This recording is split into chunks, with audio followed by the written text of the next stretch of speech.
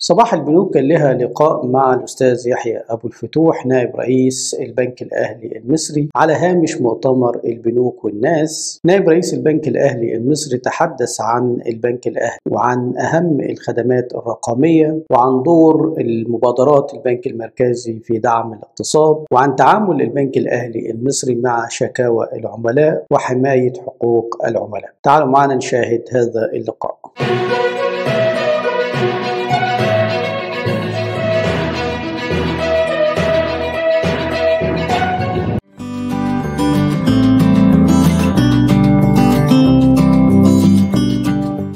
عايزين تحطنا حضرتك على مبادرات البنك المركزي وأهميتها في دعم الاقتصاد المصري.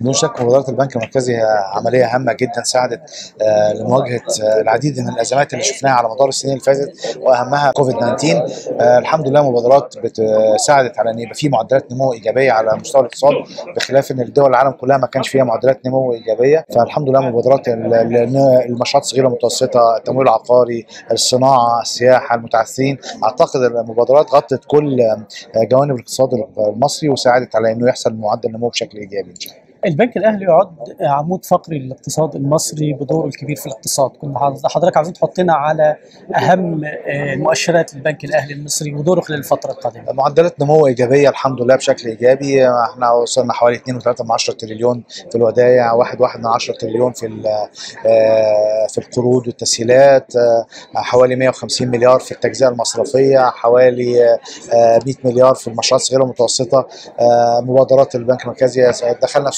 حوالي 800 مليون لحوالي 3000 سيارة في إحلال الغاز 11 مليار في التمويل التمويل العقاري لحوالي ما يزيد عن 100000 مستفيد. فالحمد لله في كل الأماكن هتلاقي البنك الأهلي متواجد. بالنسبة للتحول الرقمي حضرتك ذكرت بعض الأرقام حط لنا على موضوع التحول الرقمي والبنك الأهلي فين؟ طبعا البنك الأهلي مهتم جدا بموضوع التحول الرقمي لأن ده هو ده الثورة المصرفية اللي موجودة والثورة العالمية في كل المجالات. يعني الأهلي نت والأهلي فون واكتساب حوالي 6 مليون عميل و63 ألف شركة للتعامل مع البنك الموبايل الأهلي فون كاش الفروع الإلكترونية الخدمات كمان الأخرى اللي هتنزل خلال الفترات القادمة. إن شاء الله كل دي في سبيل في, في نفس مجال النمو التحول الرقمي إن شاء الله. ان شاء الله بإذن الله. خطتكم خلال الفترة القادمة؟ آه آه بنفس الاتجاه. آه إحنا عندنا الحمد لله بنفتح 50 فرع في السنة وبرضه مستمرين في التكنولوجيا المالية بشكل قوي.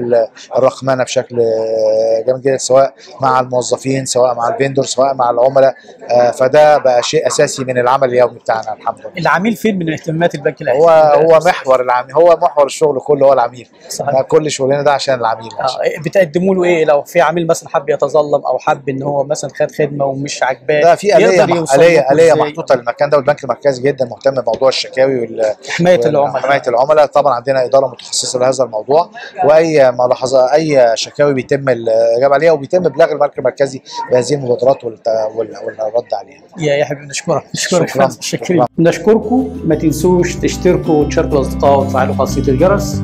والسلام عليكم ورحمة الله وبركاته.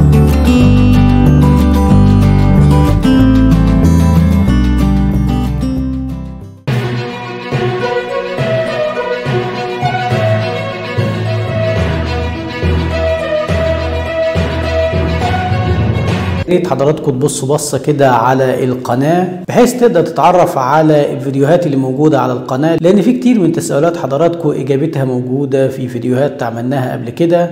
كلهم بيتعلقوا بالبنوك وتعاملات العملاء مع البنوك. وكل المشاريع دي جزء مهم جدا من العلاج الطبي لأن هي حقوق الإنسان الحقيقيه حقوق الإنسان هي إن أنا أوفر له حياة كريمة أوفر له مسكن أوفر له علاج طبي أوفر له حماية مجتمعية.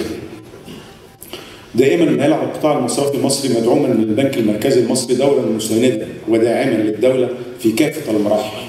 وهو ما اتضح جليا في الآونة الأخيرة من خلال دعم المحاور والقضايا الاستراتيجية لمصر والتي من أهمها دعم الاقتصاد.